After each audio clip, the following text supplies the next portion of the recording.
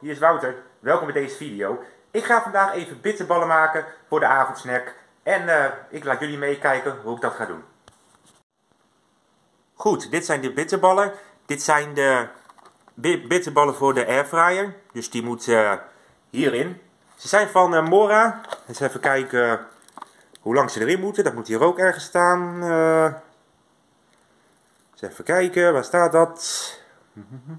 Staat het er wel bij trouwens? Uh, oh ja, hier staat alles. Nou ja. Goed, we doen die er even in. En uh, dan warm ik ze even op. De bitterballen. Oké, ik heb de tijden gevonden. Hier staan ze voor de airfryer.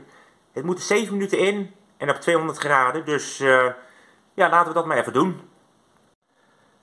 Zo, ze zitten erin. Het deksel kan dicht.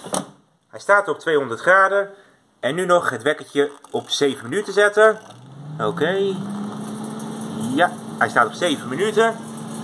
Nou, dan moet ik gewoon even 7 minuten wachten en dan heb ik mijn bitterballen. Zo, de bitterballen zijn klaar. Even kijken of ze goed gelukt zijn. Nou, dat ziet er wel goed uit, toch? Uh, even een uh, bakje pakken om ze in te doen.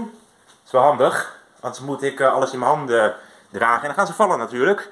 Dus, wij pakken even een bakje Oh, hier staan nog geen bakjes. Ja, dan moet ik niet daarin kijken. Eens kijken.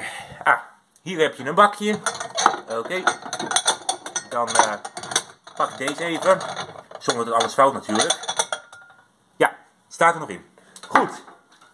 Doe ik hier de bitterballen in. En dan kan ik ze even gaan eten. Oh, ze zijn nog warm. Ja, ze komen er ook net uit, dus dat is best wel logisch, Wouter. Dat ze nog warm zijn. Oké, de bitterballen doe ik allemaal even in het bakje. Oh, verbrand bijna mijn hand zeg. En dan uh, kan ik ze zo gaan eten.